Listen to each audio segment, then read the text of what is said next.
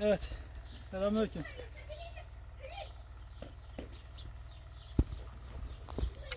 Selamünaleyküm değerli izleyenler.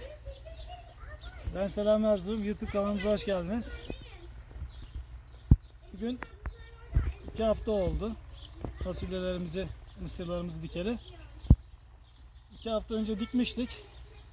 Elif dikerken burada kısaca anlatmıştı. Şimdi fasulyelerimiz, mısırlarımız böyle oldu. Ee, içinde ot çıkmaya başladı. Geçen bir sulamıştık birkaç gün, 4-5 gün önce. Şimdi tekrar sulama ihtiyacı duyuyoruz. Aslında köyde olsam her akşam sularım ama köyde değiliz.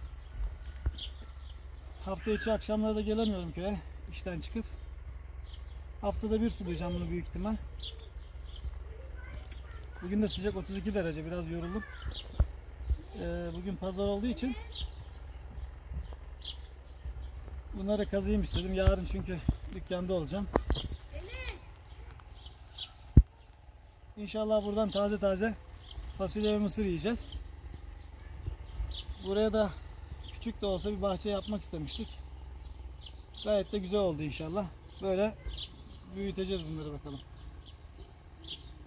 Hoşçakalın.